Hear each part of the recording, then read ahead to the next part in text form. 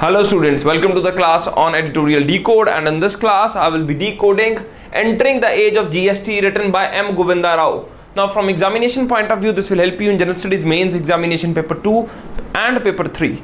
Plus this is important for economics and public administration optional students. Now first of all what is this editorial about?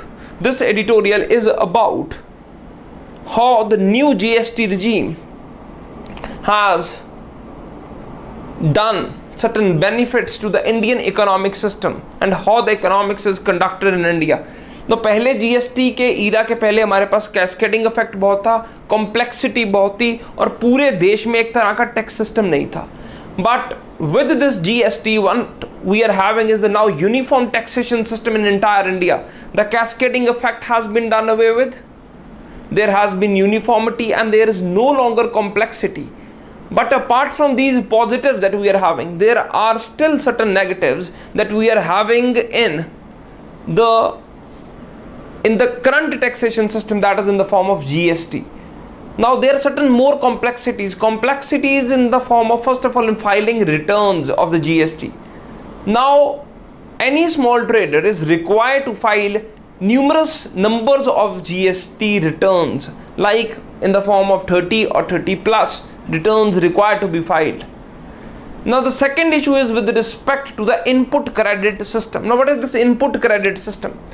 This input credit system has been introduced like suppose already the tax has been paid the GST has been paid then the somebody who is using that as an input on a particular product on which the GST has already been paid and if he is buying that and if he at the end again the GST is being levied in that case he will be liable to be paid back that particular type of the particular amount of the GST that has already been paid on the particular input.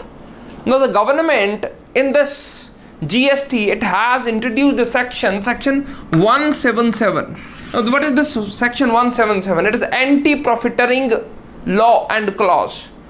Now what is this anti-profiteering clause? Now according to this anti-profiteering clause, if you have if you are availing this input credit out of the inputs that you are using and in that case you are actually liable to pass on the benefit to the customers it is not like that that you are availing the tax benefits out of the inputs that you are using into manufacture a final commodity and you are not paying it to the people so in that case basically you have to pass on the benefit. Now the government with this 177 it will set up a committee. It will set up a body that will look at this effect of anti-profiteering.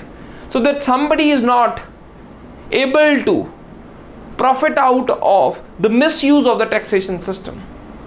So this was all for the editorial decode you can sub subscribe to this channel. Name of the channel is brainy ias you can contact me at 84954 triple zero in triple zero double zero in case interested in buying the video classes on entire civil services preparation. So this was all for the day. Bye bye. Take care. Have a nice nice day.